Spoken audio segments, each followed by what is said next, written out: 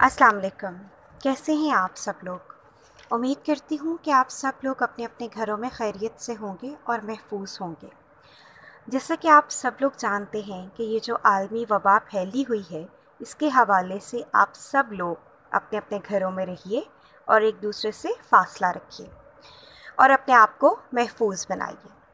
तो प्यारे बच्चों, मैं मिस सादिया नौरीन आज आपको उर्दू के पीरियड में चाँद बुक की एक सबक की पढ़ाई करवाऊँगी। सबक का उन्वान है सबसे हमदर्दी। हमदर्दी से क्या मुराद है? हमदर्दी से मुराद है दुख दर्द बांटना, दूसरे इंसानों की मदद करना, उनका ख्याल रखना। जैसा कि हजूर पाक सल्लल्लाहु अलैहि वसल्लम ने भी हमें ऐसी बहुत सी मिसालें छोड़ी हैं, बहुत सी मिसालें हमारे लिए ऐसी कायम की हैं, जिससे हमें दूसरों के साथ हमदर्दी करने का सबक मिलता है। बड़ों की इज़्ज़त एहतराम करना, बच्चों के साथ प्यार और शफकत से पेश आना, ये सब कुछ हमदर्दी में शामिल है। तो चलिए, अब आप लोग अपनी अपनी चाँद बुक खोलिए।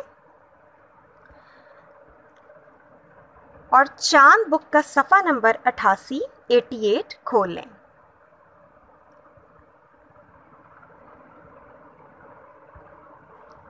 चलिए, पढ़ाई शुरू करते हैं। थम। ये क्या? घर के सहन में किसी के कूदने की आवाज़ आई।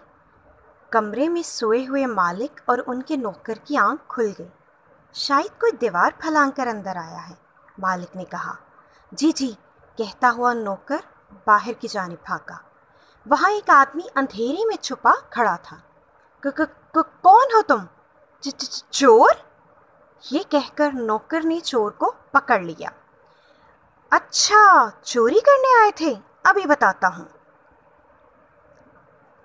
ये कहते हुए नौकर ने चोर की पिटाई शुरू कर दी।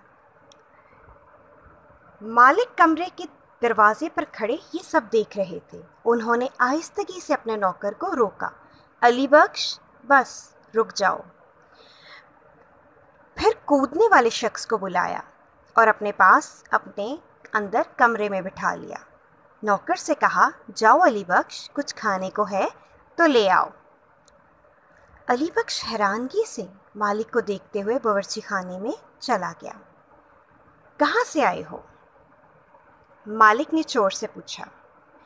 जी, यहाँ से कुछ दूर एक छोटी सी बस्ती है, वहाँ से, चोर सर झुकाकर बोला। चोरी करते हो? मालिक ने फिर पूछा। जी, बहुत गरीब हूँ। चोर ने सर झुकाए हुए ही जवाब दिया। इतनी देर में अली बख्श खाना ले आया। मालिक ने चोर से कहा इतमान से खाओ। वो खाना खाता रहा और अली बख्श गुस्से से उसे देखता रहा। जब खाना ख़त्म हुआ तो मालिक ने कहा, देखो भाई, मेहनत मजदूरी करके रूखी सूखी खाना चोरी करने से बेहतर है। इस शख्स ने शर्मिंदगी से सर हिलाया और मुआफ़ी मांगी। सफ़ा नंबर अट्ठासी पर। आप सब लोगों ने जैसा कि इस कहानी में पढ़ा, सफ़ा नंबर अट्ठासी पर कि जो एक मालिक और नौकर एक घर में रहते थे। एक रात क्या हुआ कि उनको घर में किसी के कूदने की आवाज़ सुनाई दी कि जैसे कोई दीवार फलांग कर उनके घर में दाखिल हो गया हो। तो मालिक ने नौकर से कहा कि जाओ जाकर देखो। नौकर ने जाकर जब देखा तो वहाँ पे एक आदमी जो कि आया था, घर में दाखिल हुआ था दीवार फलांग कर यकीनन वो चोरी की नीयत से घर में दाखिल हुआ था। नौकर ने उसे जल्दी से पकड़ लिया और उसे कहा कि तुम चोरी करने आए हो, उसकी खूब पिटाई करनी शुरू कर दी। मालिक जब बाहर आया तो उसने देखा कि नौकर उस आदमी की, एक आदमी को पकड़कर उसकी बहुत पिटाई कर रहा है। यकीनन वो चोर ही है। लेकिन मालिक ने उसे रोक दिया। उसने कहा कि अली बख्श, इसको मत मारो, इसको अंदर आने दो। मालिक जो था, वो उसको अपने साथ अंदर ले आया, उसे बिठाया, खाना खिलाया और इतमान से पूछा कि तुम क्या काम करते हो?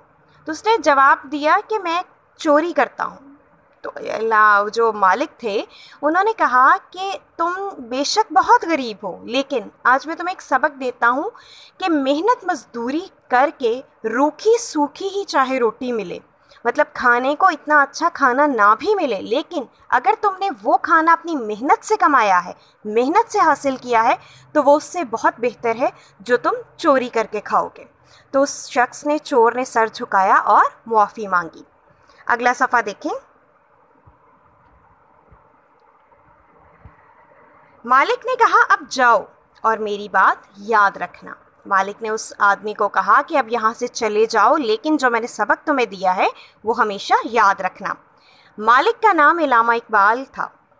इलामा सर शेख मोहम्मद इकबाल हमारे कौमी शायर हैं। वो सियालकोट, पंजाब में पैदा हुए। उन्होंने बरतानिया, जर्मनी से आला तालीम हासिल की थी। वो उर्दू और फ़ारसी दोनों ज़ुबानों में शायरी करते थे। पाकिस्तान बनाने का ख्याल भी लामा इकबाल ने ही पेश किया। उन्होंने बच्चों के हवाले से बहुत सी नज़में लिखी, जिनमें नज़, हमदर्दी, एक पहाड़ और गुलहरी, शहद की मक्खी और माँ का ख्वाब शामिल हैं।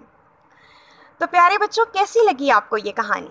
उम्मीद करती हूँ आपको इस पूरी कहानी की मुकम्मल समझ आ चुकी होगी और इसमें छुपे हुए जो सबक, इखलाकी सबक है, उसकी भी आपको ख़ास तौर पर समझ आ चुकी होगी। सबसे हमदर्दी सबक में जो इखलाकी सबक हमें दिया गया है, ये कहानी जो है, वो इलामा इकबाल की हकीकी ज़िंदगी पर मबनी है। उनकी हकीकी ज़िंदगी का ये वाक़ है कि उनके घर में ही एक आदमी जो है, वो चोर बनकर आया था और इलामा इकबाल ने उसके साथ बुरा सलूक करने की बजाय उसे बिठाया, खाना खिलाया और उससे हमदर्दी से पेश आए और उसे आज जाते जाते सबक भी दिया। कि तुम मेहनत मजदूरी करो, चाहे तुम्हें कम पैसे मिलें या ज़्यादा मिलें, लेकिन तुम सबर शुक्र करके अपना, मेहनत करके अपना कमाओ और खाओ। और चोरी जैसे संगीन और इस तरह के घनौने जो हैं, जुर्म, जराइम जो हैं, वो इनसे तुम बचो। क्योंकि इस किस्म के जो जराइम हैं, अभी तो तुम करके तुम खुश हो जाते हो कि थोड़े से पैसे मिल जाते हैं, लेकिन वो पैसे जो हैं, वो हराम के पैसे हैं। वो यकीनन तुम्हें ज़िंदगी में भी कभी भी तुम्हारे लिए अच्छा अच्छाई का बायस नहीं बनेंगे और आखरत भी तुम्हारी से ख़राब होगी। तो प्यारे बच्चों, हमें इस कहानी से ये दो तरह के अखलाकी सबक मिलते हैं। एक ये कि हमें सबसे हमदर्दी करनी चाहिए। गरीब, ज़रूरतमंद, भूखे, फ़कीरों को, बुज़ुर्गों को, बूढ़ों को, जिन बेसहारा जो होते हैं जो लावारिस होते हैं, उनका ख्याल रखना चाहिए। जैसा कि आजकल भी जिस तरह की आलमी वबा फैली हुई है, बहुत से ऐसे लोग हैं जो अपने घरों में बैठे हैं, जिनके पास खाने को कुछ नहीं है। तो हमें चाहिए कि हम गरीबों का ख्याल रखें, ऐसे लोग जो बेचारे जिनके काम काज छिन चुके हैं, जिनकी मेहनत मजदूरी जो करते थे, वो इस टाइम नहीं कर पा रहे। तो हमें चाहिए कि हम उन सब की मदद करें। तो आप सब लोग एक तरह से इस इखलाकी सबक को सीखें। और दूसरी तरफ़ ये है कि हमेशा मेहनत करने को तरजीह दें बजाय इससे कि आप किसी की चोरी करें या किसी के हक पर डाका डालें। तो चलिए अब घर के आ, काम की जानब चलते हैं। घर के काम के तौर पर मैंने आपको यहाँ पर एक सवाल दिया है जो आपने अपनी नोटबुक में तहरीर करना है। अगर आपको कभी किसी के साथ हमदर्दी करने का मौका मिले तो आप किस तरह हमदर्दी करें करते हुए इस शख्स के काम आ सकते हैं? नोटबुक में तहरीर करें।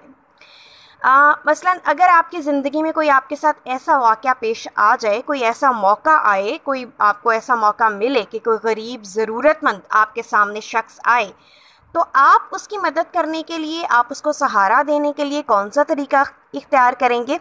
आप वो तरीका जो है वो आप जो है, जिस तरह से आप मदद करना चाहते हैं, या जो आपके लिए बिल्कुल फिजिबल हो, जिनको बिल्कुल आपके लिए आराम से आप वो कर सकें, आपने वो तरीका नोटबुक में जवाब के तौर पर तहरीर करना है।